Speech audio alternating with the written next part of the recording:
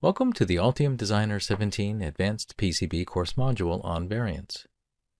Variants are a useful tool for enabling a single PC board to be used for multiple products. The typical example I can think of would be the single board computer having different DRAM load options, say 1 gig or 4 gig. With a common footprint for both sizes of the memory, we can use a common PC board for them all. With variants in Altium, we can automatically generate the bill of material with the pick and place files for both versions. Looking at this example power supply design, we see that the input voltage is designed to be supplied from either 120 or 240 volt AC. The different input voltages require different filter capacitors. The 240 volt option needs 2000 microfarad capacitors C2 and C5 installed, and not the C1 and C4 capacitors. If the supply was the 120 volt AC version, then C1 and C4 at 1000 microfarad are needed, while C2 and C5 would not be installed. This is indicated by the dashed lines around C2 and C5 along with the note on the schematic. While hand generating two different bill of materials would work, the schematics would be clearer and the PCB would be more compact if we used variants to change which is loaded at the assembly stage.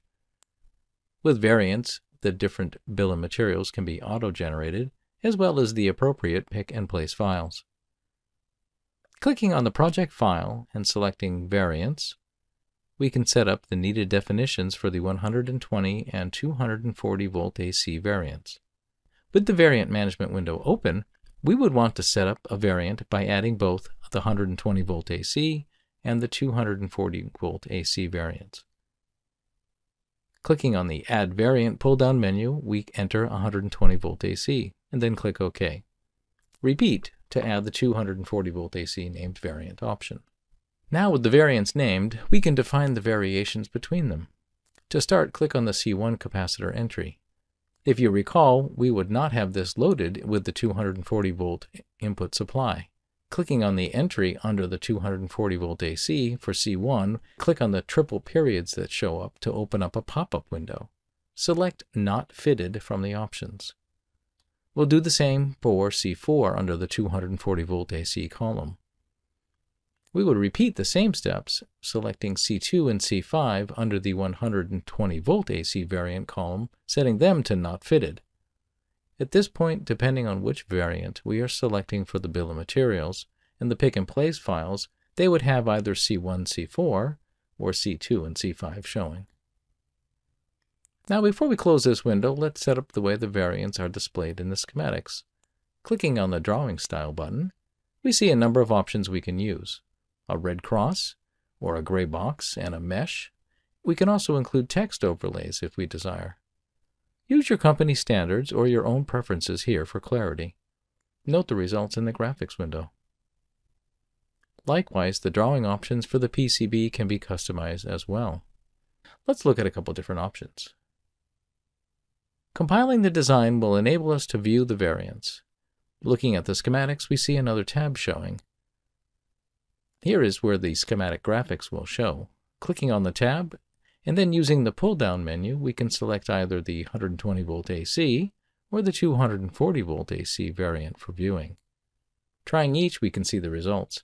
Note the red crossed out components. But what about the PCB? Transferring the design to the PC board, we see both of the components. It must have both components as they have different footprints. Given that we will only load one of the two sets of capacitors, we can place them on top of each other like so. This allows for more compact layout for the PC board while still accommodating the different component loads based on the variant selection.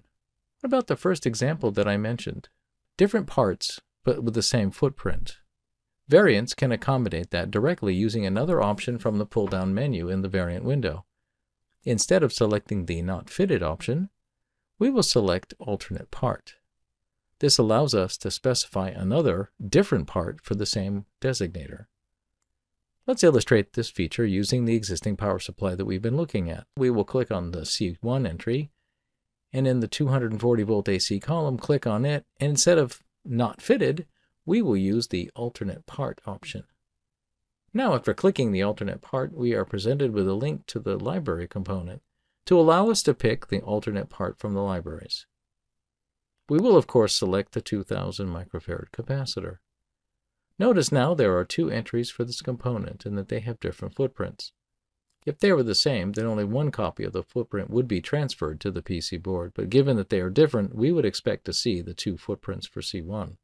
Now we have the 1000 microfarad in the 120 volt AC variant and the 2000 microfarad in the 240 volt AC. Repeating this for C4, we can recompile and then transfer the design to the PC board.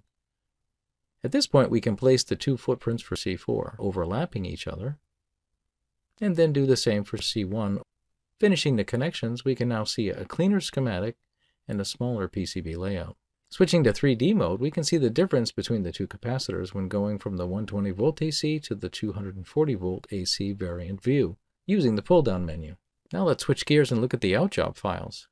We can now use the variants to drive the generation of the bill of material and the pick-and-place files. Here we select 120 volt AC for all of the generated files. We could in fact add all the options to the bill of materials for both 120 volt AC and 240 volt AC by clicking on Choose a different variant for each output. And then we would add the bill of material for each variant like so. We'll do the same for the pick and place files. That way we would be able to generate multiple bill of materials and multiple pick and place files, listing the different components as appropriate. In this module, we have covered the use of variants that share the same PCB but have different final build configurations.